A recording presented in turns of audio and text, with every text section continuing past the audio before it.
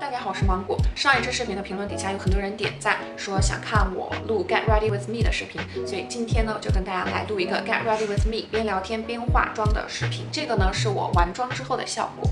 呃，如果你们对这个妆容感兴趣，然后想了解一下我最近的近况的话，就请继续看下去吧。今天视频里呢，我想跟大家一起来测试一套这个刷子，这个是一个国产的品牌，叫做魅思蔻，他家的公关之前寄给我的，他家在淘宝天猫有售，给你们看一下他家这个刷包，我觉得超级好看的。而且这个布料是比较厚实的那种，就很有质感，上面还有闪闪的金亮片，这里是一个类似于玉佩的感觉。然后这样子把它拆开。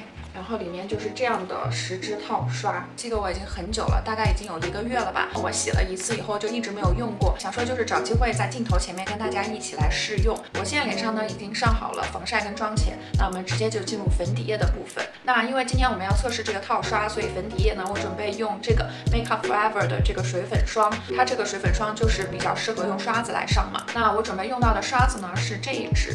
就是一个斜角的粉底刷，我一般这个粉底液的用量是两泵。上支视频我也讲了嘛，就是我最近是在广州，很多人就想让我出那个广州的家的 room tour，但是我现在住的地方呢，就是我应该不会长期住下去，就是只是我一个短期的、暂时的一个住所，我应该不会出在这个房子里面的 room tour。现在这个房子就是很小很小，就只有一个房间，采光很不好，呃，因为它没有一个。窗户它有阳台，但是没有窗户。我现在是开着两盏黄，就是开着两盏黄光的顶灯来给大家录视频，所以说视频可能会有一些色差。我觉得这个刷子还蛮好用的，很好推匀，而且刷毛很软很软。对了，这两天广州降温了，现在广州的气温大概是二十多度吧，就不到三十度了。很多小伙伴就都已经入冬了，但是广州现在还是在大概夏天跟秋天交际的。细节，如果你们听到外面有雨的声音的话，就是外面在下雨，下的还挺大的。好，那我粉底就上完了。我觉得这个粉底刷真的还挺好用的，我以后应该还会再接着用它。遮瑕我用的还是美宝莲的这个 Fit Me，然后它这个套刷里面没有配遮瑕刷，所以我准备还是用这支粉底刷来上遮瑕。我今天早上六点半就起来了。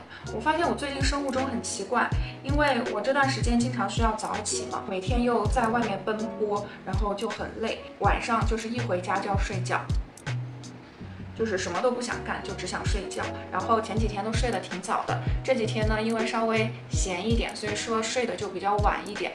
但是我还是就每天早上六点多就醒了。所以说我现在给你们录这个视频的时候还很早，现在才。现在才八点三十七，我今天呢是要跟我的呃大学室友，他们两个现在在广州读研，然后我要跟他们一起出去，所以说就说早起来化一个妆。这个粉底刷真的很好用哎，不过如果你是追求那种高遮瑕度的遮瑕的话，应该不适合用这个，因为它会把你的遮瑕推开。鼻子这里就是毛孔比较大的部分，我会用点按的方法，就推开之后再点压一下，把那个粉推进毛孔里。散粉我用的是 Laura Mercier 的这个散粉。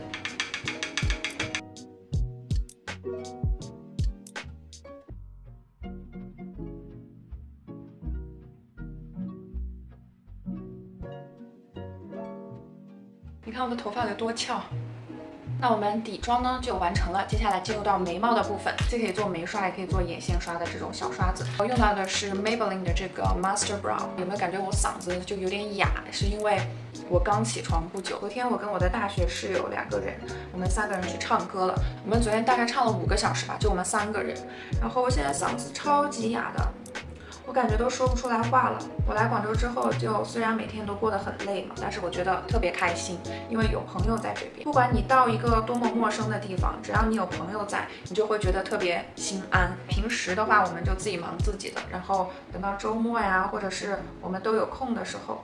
就可以一起出来玩儿，随便吃个饭什么的，也都特别开心。我不知道你们有没有跟我一样的感觉，当你跟朋友的关系就是好到一定程度之后，你们永远有说不完的话。我跟我的室友们也就很久没见了，大概有一年的时间都没见过了。见面之后还是有很多话可以聊，检验两个人友情有没有达到一定境界的一个标准，就是不管你们聊什么都不会觉得尴尬，就算你们两个。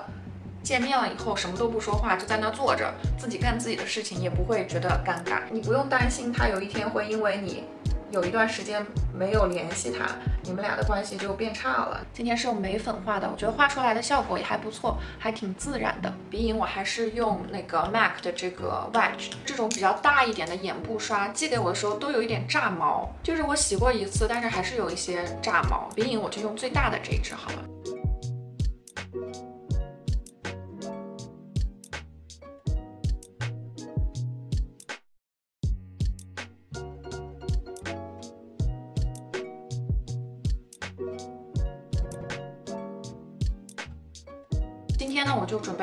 比较随意、比较简单一点的眼影。对了，你们最近有没有在看什么剧啊？我最近在看《白夜追凶》，然后我没有会员，所以说我现在还没有看完。你们不要给我剧透啊！潘粤明的演技真的好好哦，而且这个剧的情节就是一点废话都没有，完全不拖沓。你们最近如果有看到什么好看的美剧的话，也可以给我推荐。其实一个人在家的话，就如果你不发出一点什么声音，不看看剧，其实真的家里很安静，很安静。呃，我最近晚上睡觉的时候，我都会放放视频。之前微博上不是经常有人讲，就说，呃，自己的爸爸躺在沙发上看电视睡着了，把电视一关上，他立刻就醒了嘛。我觉得我现在就类似于那种状态。又有一个毛，然后用一下 NARS 的这个 Cordura。我好像是第一次在视频里面用到它。说个睡觉的事情，就是我觉得晚上睡觉之前要听着一点什么东西才能入睡，感觉特别安心。其实他家寄给我这套刷子之前，我就有看过这个品牌，但是不是看别人推荐的，我是在淘宝的那个免费试用的那一个板块里面看到过他家的刷子。如果你们还没有试过淘宝的这个新功能的话，我也不知道是不是新功能啊，应该还蛮新的吧。你们可以去试一下。我在微博上讲过，就我之前抽中了一个吊灯，就是家里用的那种顶灯，我寄回家了，然后我来广州之后它才寄到，所以我也不知道它到底长什么样子。然后好多大牌也会有，虽然说我抽不到，就什么兰蔻啊、SK two 啊、蓝妹儿啊都有参与那个活动。啊，他家的这个眼影刷真的好爱掉毛。然后我准备还用刚刚的这个眉刷。呃，蘸取一点这个 NARS 的这个深色来画一个眼线，今天就不用眼线笔了，一切都用刷子来完成。之前很多人跟我讲说想看花卷的视频、做饭的视频，因为我现在已经来广州了嘛，然后花卷当然是在家里，所以说我根本就见不到他，我也拍不了他的视频。然后我现在住的地方呢也没有厨房，所以也拍不了做饭的视频，所以这两个视频可能都得再等一等了。我发现我的。狗缘真的比人缘要好很多哎，就是也不是说我人缘不好了，但是我的狗缘真的特别好，就不管在哪儿，那种小狗狗都会特别喜欢我。我之前不是跟我妈一直在跑装修嘛，邻居家有一只小泰迪，就对我特别热情，就每次看到我都来跟我打招呼，就感觉我是它的主人一样。这个眉刷用来画眼线也还挺好用的。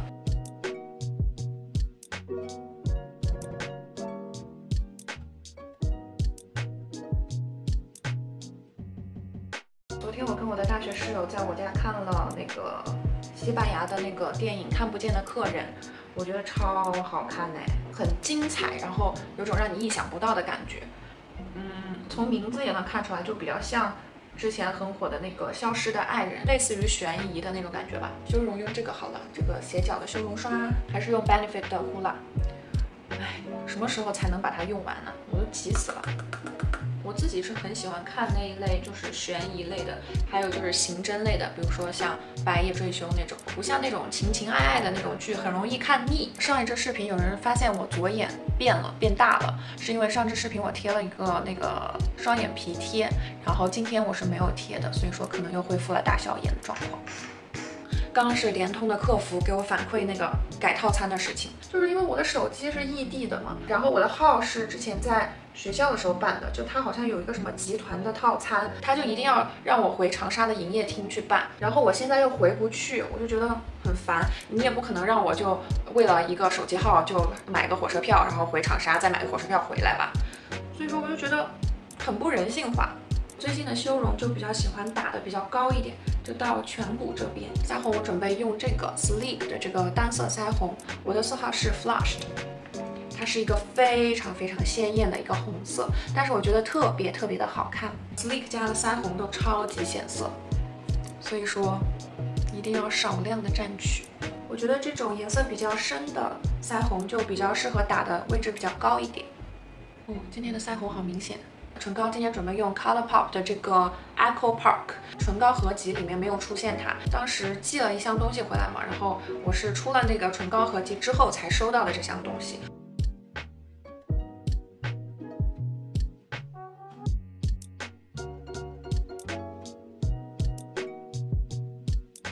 这个唇膏的颜色呢就比较裸一点，比较百搭吧，你搭什么颜色的眼妆都可以。我这个头发一直翘在这里，就没办法。